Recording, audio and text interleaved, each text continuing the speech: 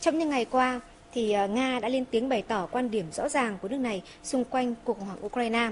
Đó là thực thi thỏa thuận ngày 21 tháng 2, trên cơ sở đó thành lập chính phủ hợp hiến để có thể đại diện một cách hợp pháp cho quyền lợi của nhân dân Ukraine và chấm dứt các hành động thù địch đối Nga thông qua việc cấm tiếng Nga tại Ukraine như một ngôn ngữ khu vực có tới 75% người dân Ukraine đang sử dụng. Để có thể hiểu rõ hơn về quan điểm của Nga trong cuộc khủng hoảng Ukraine, nhóm phóng viên Đài truyền Việt Nam thường trú tại Liên bang Nga đã có cuộc phỏng vấn với ông Steptov, chính sách, chính khách và cũng là một nhà bình luận của báo nước Nga. Mời quý vị và các bạn cùng theo dõi. Cảm ơn ông đã nhận trả lời phỏng vấn đài truyền Việt Nam. Um, thưa ông, cuộc khủng hoảng tại Ukraine trong tuần qua đã bị đẩy lên thành cuộc khủng hoảng trong quan hệ giữa Nga và phương Tây.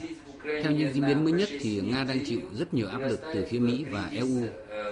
Cụ thể là việc áp đặt lệnh trừng phạt từ EU và những đe dọa cắt đứt quan hệ kinh tế chính trị với Nga. Ông nhận định thế nào về tình hình này? Thực chất những gì đã và đang diễn ra trên quảng trường Maidan đã được các nước phương Tây chuẩn bị trước đó rất lâu. Nhiều chính trị gia, các cơ quan đặc nhiệm, các quỹ khác nhau của phương Tây đều có liên quan tới tiến trình này. Và hiện nay, chúng ta dường như đang chứng kiến sự tiếp nối chính sách của họ, chứng kiến những cố gắng của phương Tây làm chủ tình hình tại Ukraine. Và ở khía cạnh này, theo tôi, phương Tây dường như đạt được nhiều điều mà họ mong muốn, bởi những người lãnh đạo trong chính quyền Ukraine là những người được họ đào tạo, nuôi dưỡng. Không phải ngẫu nhiên mà hiện nay chúng ta đều thấy những nhà lãnh đạo mới của Ukraine khẳng định họ sẵn sàng ký kết hiệp định đưa Ukraine gia nhập NATO, kêu gọi binh lính NATO tới Ukraine. Đó là sự chuyển biến đột ngột trong chính sách của Ukraine